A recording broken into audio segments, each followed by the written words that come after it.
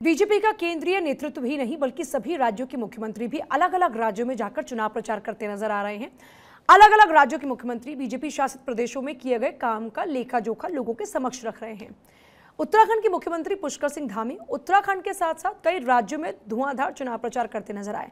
ऐसे ही आपने उत्तर प्रदेश के मुख्यमंत्री को भी देखा। अगर आज की बात करते हैं तो सीएम धामी ने पहले नैनीताल लोकसभा क्षेत्र में रोड शो किया। इसके बाद सीएम धामी उत्तर प्रदेश के पीलीभीत पहुँचे और यहाँ पर उन्होंने सीएए का ज़िक्र कर बंगाली समाज को साधा।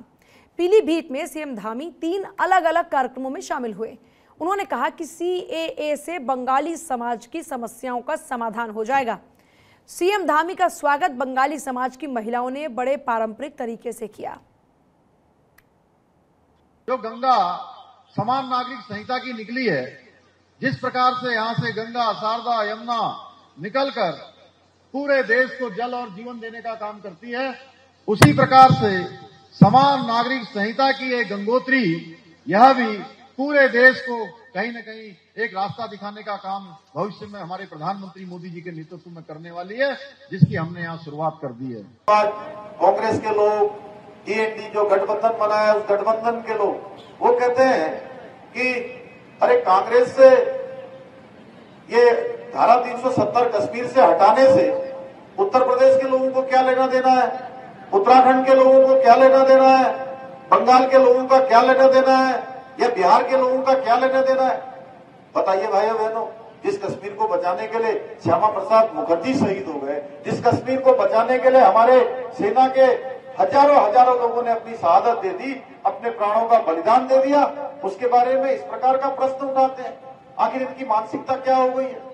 आखिर ये कहाँ देश को ले जाना चाहते हैं? आखिर ये देश के अंदर किस प्रकार का विभाजन करना चाहते हैं? पीलीभीत संसदीय सीट पर पहले चरण में 19 अप्रैल को ही मतदान होना है। इसके लिए चुनाव प्रचार पूरी तरीके से परवान चढ़ा हुआ है। वैसे तो मैदान में 10 उम्मीदवार हैं, लेकिन चुनाव प्रचार के मैदान में बीजेपी, सपा और बसपा उम्मीदवार ही सक्रिय नज़र आ रहे हैं। तीनों राजनीतिक दलों के उम्मीदवार अपने संबोधनों में एक दूसरे पर खूब सियासी हमले बोलते नज़र आते हैं। इसके साथ ही तराई वासियों से भावनात्मक रिश्ता होने की दुहाई भी दे रहे हैं। अगर कुल मिलाकर देखा जाए तो पीलीभीत लोकसभा सीट का चुनाव अब बहुत ज़्यादा दिलचस्प बनता नज़र आ रहा है।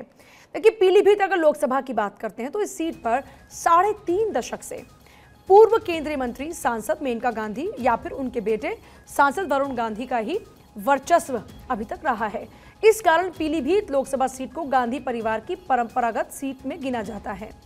लेकिन इस बार के चुनावी परिदृश्य से गांधी परिवार पूरी तरीके से दूर है, क्योंकि भारतीय जनता पार्टी के शीर्ष नेतृत्व ने सांसद वरुण गांधी का टिकट काटा और यूपी के लोक निर्माण विभाग मंत्री जितिन प्रसाद को यहाँ मौका दिया।